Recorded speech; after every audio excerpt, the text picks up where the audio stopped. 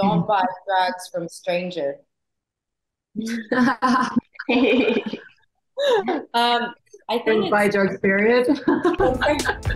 this is cool. Hi everyone, my name is Tamaris Edie with the Knockturnal, and I'm really excited to gain you guys' perspectives on such a highly anticipated film. As someone who's grown up in front of the camera, I'm really curious to know what aspects of your character's personality you found most interesting to explore and what it feels like to branch off into new territory. One thing that my character that I love about her that's kind of me as well, like she's just a very driven character. And that's she's very fearless, which I love the most too.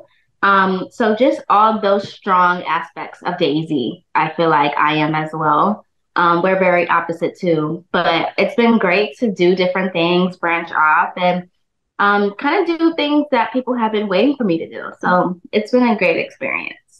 How did you approach portraying Diamond's adventurous and fierce personality while also bringing depth to her character, like which really did translate on screen? There is this sensitivity and vulnerability that comes with like Diamond.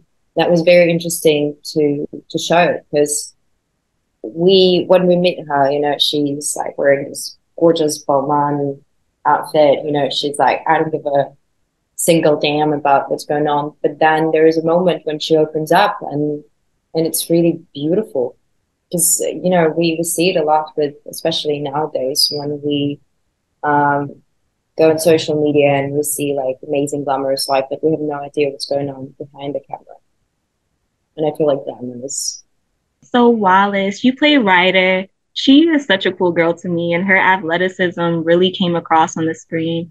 Can you tell us about the physicality of your role and if it was comparable to previous action action sequences that you've done?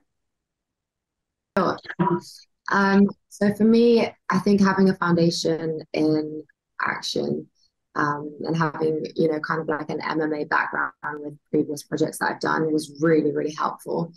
It made it slightly easier to learn the sequences, um, and it meant we got more time to play.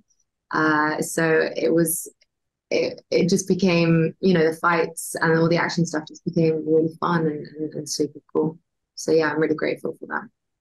Sheroes is set in Thailand. Can you guys talk about the filming location and then how that setting kind of influenced the tone and atmosphere of the movie?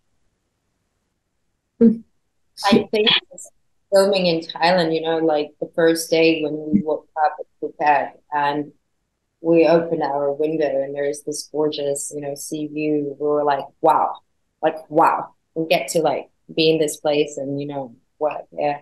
And I feel like this set the stone of, yes, we're working, we're obviously making a movie, but we're also here to just enjoy and bond. And, and that's just the beauty of Thailand gave this certain oomph. Feel like you're on vacation the whole time the weather was amazing and then being able to be with these amazing women was just like another bonus on top of that as well. So i feel like we just all had it was good vibes good vibes great time and it was a really good month. Enhanced an experience that was already like the creme de la creme. There is a very clear message in this movie that women are strong and capable and we know how to kick ass. And the most important. We can do all of this while still staying authentic and true to ourselves.